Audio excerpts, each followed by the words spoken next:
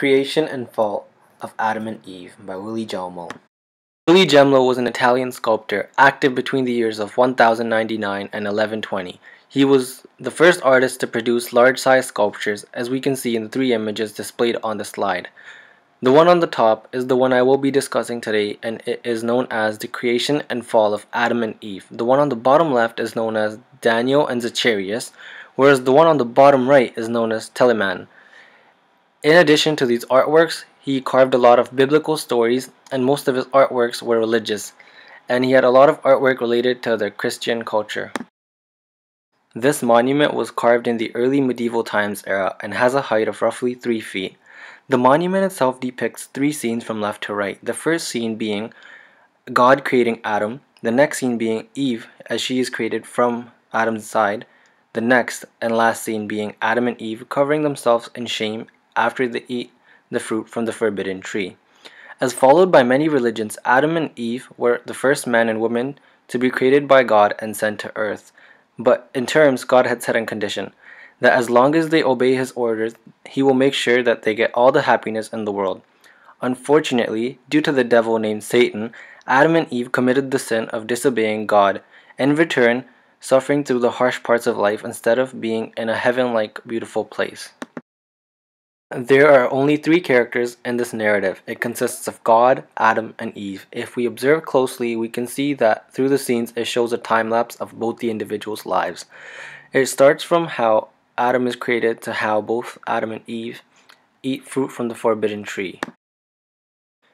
In the first scene of this artwork, we can see the creator, God, is creating Adam and his hand is on his head, trying to depict that Adam would have God's blessings at all times and will be well protected and is pretty much known as God's child. Next, the scene in the middle of this narrative is trying to depict the creation of Eve. She was created by God when Adam was asleep, as displayed in the scene itself, and God is also holding her hand, which is trying to depict the same meaning of God protecting her at all times if she follows the rules that God had set into place for her.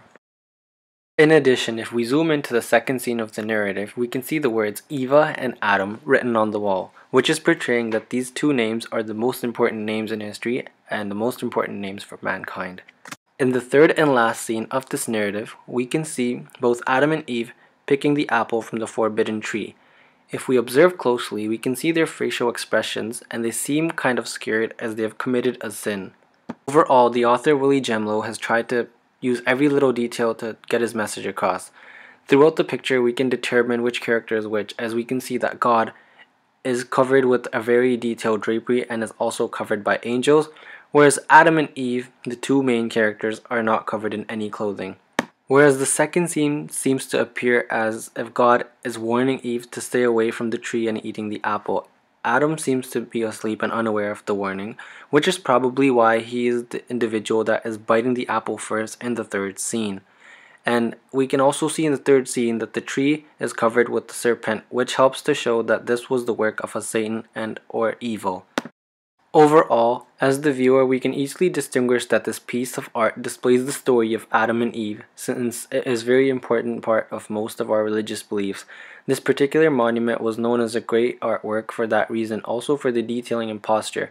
For example, Adam kneeling down before God shows his respect, and Eve taking the apple offered by the serpent, which is also known as the Satan, as she looks at Adam take the bite. So by looking at these small details, it is easily distinguishable that the story is about Adam and Eve.